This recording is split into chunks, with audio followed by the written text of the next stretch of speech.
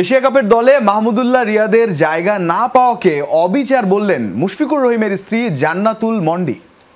সাকিবকে অধিনায়ক করে সতেরো সদস্যের ঘোষিত এশিয়া কাপের দলে জায়গা হয়নি অভিজ্ঞ রিয়াদের। জাতীয় দলে জায়গা পেতে নতুন করে শুরু করেন অনুশীলন। ফিটনেস পরীক্ষাও পেয়েছিলেন ভালো নম্বর।